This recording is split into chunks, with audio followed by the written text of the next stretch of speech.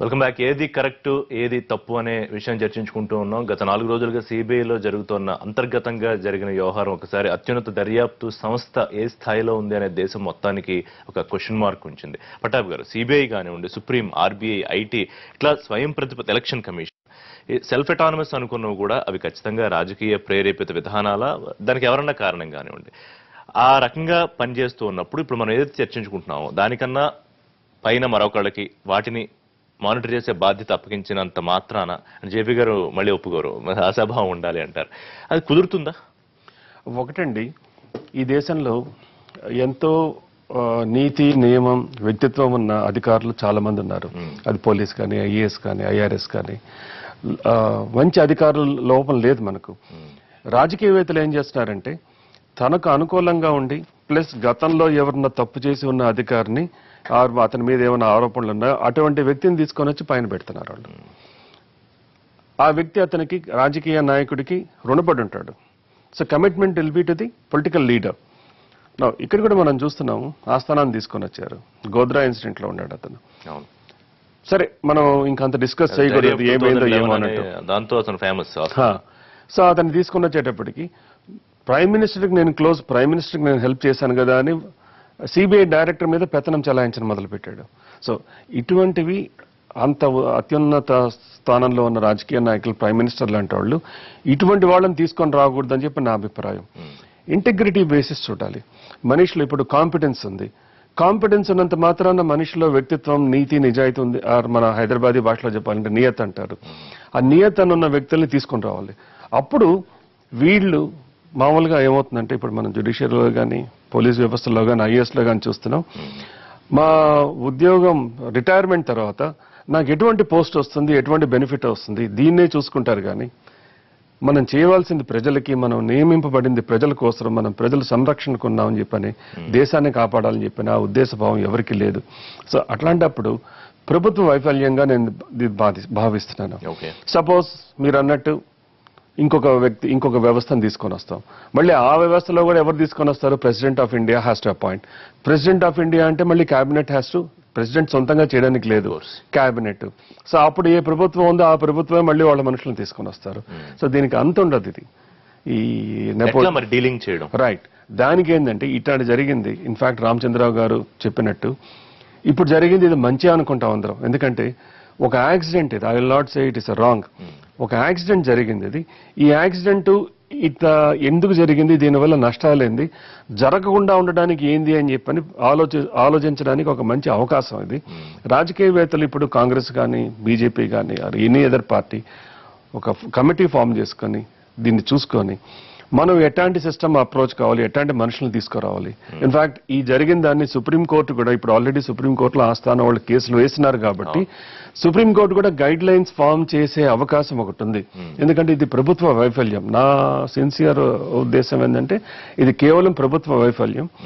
వైఫల్యమే కాదు ప్రభుత్వ దురుద్దేశం అని కూడా అంటాను నేను ధైర్యంగా ప్రజగా మాట్లాడుతున్నాను. నేను. దురుద్దేశం అంటే ఈ సిబిఐ వ్యవస్థని ఎప్పుడైతే నువ్వు రాజకీయంగా నీ ప్రత్యర్థుల మీద వాడుకుంటూ వాళ్ళకి విచ్చలవిడిగా పవర్స్ ఇచ్చి ఏ ఒక్క చిన్న విషయంలో కూడా సిబిఐని ఉసిగొల్పుతూ పంపిస్తున్నారు. ఇప్పుడు చూడండి. ఉదాహరణకి మన తెలుగు రాష్ట్రాల్లో కూడా CBI raids income tax raids ప్రత్యర్థుల మీద చేస్తున్నారు. అనవసరం. దీనికి మామూలు ఇన్కమ్ ట్యాక్స్ వాళ్ళు ఇవ్వచ్చు మామూలు ఇంకొక నోటిఫికేషన్ ఇవ్వచ్చు తప్ప సిబిఐ ఇది ఇన్వాల్వ్ కావాల్సిన అవసరం లేదు ఇది. నా ఇట్లాంటివి చేస్తున్నారంటే దీన్ని బట్టి ఎక్కడ రాజకీయంగా ఒక మనిషి మనకు వ్యతిరేకంగా ఉన్నాడంటే అతను గొంతు నొక్కేయడానికి కానీ లేకపోతే అతని భవిష్యత్తు తొక్కేయడానికి వాడుతున్నారు. సో ఇంటిగ్రిటీ బేస్డ్ ఆఫీసర్స్ కావాలి. సో ఇప్పుడు సివిసికి చెప్పింది. రెండు వారాల్లో అలోక్ వర్మ ఏదైతే ఎలిగేషన్స్ చేశారో దాని గురించి ఒక రిపోర్ట్ కావాలి అని చెప్పి. సో ఏ మీరు ఏం ఎక్స్పెక్ట్ చేస్తున్నారు? ఉన్న పరిస్థితుల్లో సివిసిని మనం ఇంతవరకు ఎటువంటి ఆరోపణలు లేవు ఎటువంటి అభియోగాలు లేవు కాబట్టి సిబిసి బహుశా ఒక నిష్పక్షపాతం. ఎందుకంటే ఇప్పుడు ప్రజలు దేశం అంతా చూస్తున్నారు. ఈ పరిస్థితిని దేశం అంతా చూస్తున్నారు. నా ఇష్టం వచ్చినట్టు చేయడానికి లేదు. నేను నా మనసాక్షిగా జ్యుడిషియల్ కాన్షియన్స్తో దేశానికి కమిట్మెంట్తో అకౌంటబిలిటీ జవాబుదారితనం ఇప్పుడు కేవలం అధికారి కాదు ఇప్పుడు ప్రజలకు ఉంది జవాబుదారితనం ఈ జవాబుదారితనంతో సిబిసి చేస్తుందని నా సంపూర్ణ విశ్వాసం నాకు. తప్పక మంచి జరుగుతుందని ఆశిస్తున్నాను. డాక్టర్ జయప్రకాష్ నారాయణ గారు చెప్పినట్టు నిరాశపడాల్సిన అవసరం లేదు ఇది ఇప్పుడు. దట్ ఇస్ ఇంపార్టెంట్ పొ- పొరపాట్లు జరుగుతుంటాయి డెమోక్రసీ అన్నప్పుడు అవకతవకలు ఉంటాయి తప్పులు ఉంటాయి పొరపాట్లు ఉంటాయి సో ఇవన్నీ ఏంటంటే ఎప్పటికప్పటికి సరిదిద్దుకొని మనం బయటకు వస్తూ ఇంతవరకు మన డెమోక్రసీ నడుస్తుండింది ఇప్పుడు కూడా ఇందాక రామచంద్రరావు గారు చెప్పినట్టు వారు లాంటి వాళ్ళు ఇంత ఆశాభావంతో ఉన్నారంటే వాళ్ళంతా చూసిన వ్యక్తులు సమాజాన్ని చరిత్రను చూసిన వ్యక్తులు తప్పక ఇది దిగులు పడాల్సిన అవసరం అయితే కాదు ఇది. రామచంద్ర గారు ఏం చెప్తారు ఫైనల్గా అంటే అప్పటికి అధికారంలో ఎవరైతే ఉన్నారో ఆ పార్టీల పెద్దల కోసం వారు అన్నట్టు రాజు కాదు దేవుడి అభిమానం పొందడం కోసం చేస్తోన్న అధికారులు చేస్తోన్న ఈ దుస్సాంప్రదాయం నుంచి బయట పడగలుగుతామా? అది ఎంత దూరంలో ఉంది?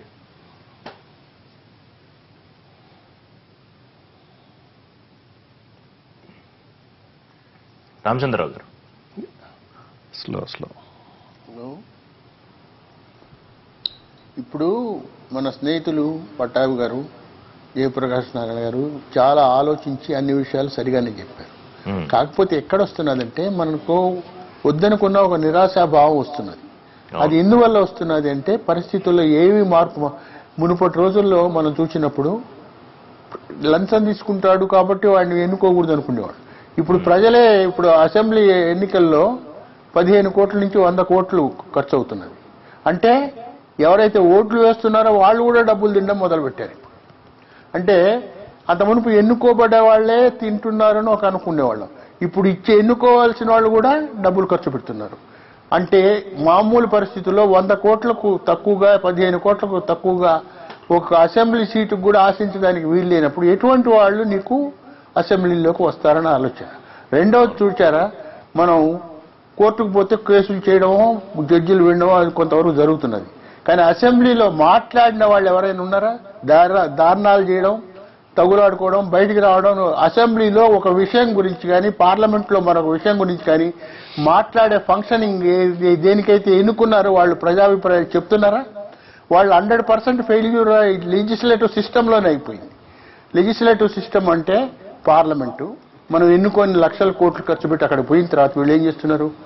దారుణాలు ప్రొటెస్ట్లు తగులాడుకోవడం అంతేగాని డిబేట్ అనేది కానీ ఆలోచన అని కానీ చేయటం లేదు. అందుకని చేయవలసిన విషయం ఏంటంటే liberty is nothing but power cut to pieces. అంటే లిబర్టీ ఒక స్వాతంత్రం మిగలాలంటే ఆ పవర్ను అన్ని విధాలా డివైడ్ చేయాలి. అంటే చెక్స్ అండ్ బ్యాలెన్సెస్ ఉండాలి. ఎగ్జిక్యూటివ్ ఎక్సెస్కు లెజిస్లేటివ్ కరెక్షన్ ఉండాలి. లెజిస్లేటివ్ ఎక్సెసెస్కు జ్యుడిషియల్ కరెక్షన్ ఉండాలి.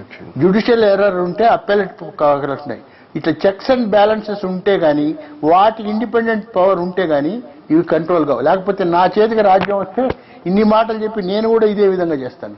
కానీ నన్ను ఎవడో కంట్రోల్ చేస్తాడని ఒక భయం ఉంటేనే కరెక్ట్ చేసే వీలుంటే నేను తక్కువ తప్పులు చేస్తాను. అసలు తప్పులు చేయకుండా ఉంటాడనే ప్రసక్తి ఇప్పుడు మనం ఆశలు వదులుకున్నాం. ఎందుకంటే నీతి మునుపుడు స్వాతంత్రంలో వచ్చి యుద్ధంలో స్వతంత్రం బ్రిటిష్ వారితో పోట్లాడి జైలుకు పోయి వచ్చిన వాళ్ళు నాయకులు కారు. జైలుకు పోతున్నారు ఎందుకంటే పిక్ పాకెట్ చేసినందుకు జైలుకు పోయి తర్వాత రాజకీయ నాయకులు అయ్యే పరిస్థితులు వచ్చింది. నీతి ఎప్పుడు ఎందుకు తగ్గిందంటే నీతి ఎందుకు తగ్గింది అంటే డబ్బు పిచ్చి వల్ల తగ్గింది. ఈ డబ్బు పిచ్చి ఎందుకు వచ్చిందంటే వాడు ఎందుకు లేకుండా వచ్చినాడు ఐదేళ్ళలో ఇంత సంపాదిస్తే మనం రాజకీయ మార్గం ఇప్పుడు కష్టపడి ఉద్యోగం చేస్తే పదివేలు సంపాదిస్తాం ఇరవై వేలు సంపాదిస్తాం ముప్పై వేలు సంపాదిస్తాం. ఐదేళ్ళలో ఒక రాజకీయ నాయకుడు సంపాదించినంత వీడి ఊప ఊహల్లో కూడా అరే వాడే తింటున్నాడు మనం కూడా ఎందుకు మొదలు అధికారులు మొదలుపెట్టారు. ఈ విధంగా మొత్తం జనరల్ డీటేరియేషన్ వచ్చింది. ఈ జనరల్ డీటేరియేషన్ ఆపాలంటే చెక్స్ అండ్ బ్యాలెన్సెస్ ఉండాలి వాటి కాన్స్టిట్యూషనల్ పవర్స్ ఉండాలి. అది జ్యుడిషియరీ ముఖ్యంగా కన్విక్షన్ రేటు తప్పు చేసినట్టు అలిగేషన్ పెడితే ఖచ్చితంగా శిక్షలు పడేటట్టు చూడాలి. ఈ ప్రొసీజర్ లాస్ కూడా మార్చాలి అప్పీల్స్ ఇది తగ్గించాలి. అప్పుడు శిక్ష పడ్డం ఒక భయం ఉంటే డెటరెన్స్ అన్న ఉంటే కొంతవరకు మారుతుంది. కానీ మొత్తం మీద నిరాశ పడొద్దు ఎందుకంటే ఇప్పుడు మనుషుల దగ్గర డబ్బు చేరింది ఇండియా డెవలప్ అవుతున్నది. ఈ డెవలప్మెంట్ డెవలప్మెంట్ జరిగే సొసైటీలో డెమోక్రాటిక్ సొసైటీలో కొన్ని హక్కులు ఉంటాయి కానీ బేసిక్ రైట్స్ కోర్ట్స్ ప్రొటెక్ట్ చేస్తూ జ్యుడిషియరీ ప్రొటెక్ట్ చేస్తే ఎగ్జిక్యూటివ్ ఫంక్షన్స్ ఎగ్జిక్యూటివ్ చేస్తే అసెంబ్లీలో వాళ్ళు మాట్లాడడం మొదలుపెట్టి ప్రజల గురించి అభిప్రాయాలు చెప్పడం మొదలు పెడితే కొంత ఆశలు జరగవచ్చని నా నమ్మకం.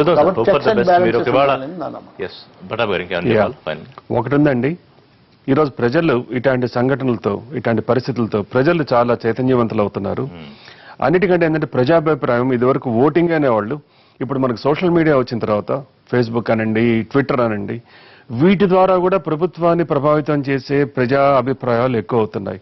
సో ప్రజలకు మీ టీవీ ద్వారా పెద్దలు చెప్పిన దాన్ని అందరూ పెద్దలు ఇచ్చిన సూచనల్ని ప్రజలు తిరగబడి ఇట్లాంటి వ్యవస్థలు మాకు వద్దు అని ఇట్లాంటి వ్యవస్థల్ని ప్రతిఘటించిన రోజున కాస్తన్నా రాజకీయ నాయకుల్లో మార్పు వస్తుందని ఆశిస్తున్నాను. సోషల్ మీడియా అప్పుడప్పుడు మంచికి Absolutely, social media ను వాడాల్సిన అవసరం ఉంది. చూద్దాం ఎటువంటి మార్పులు వస్తాయని. Thank you very much Ramachandrarao గారు. డిబేట్లో పార్టిసిపేట్ చేసినందుకు థ్యాంక్ యూ పట్టాభి గారు. థ్యాంక్ యూ జేపీ గారు. ఇది వాళ్ళ చర్చ రేపటి చర్చ. కలుద్దాం. నమస్తే.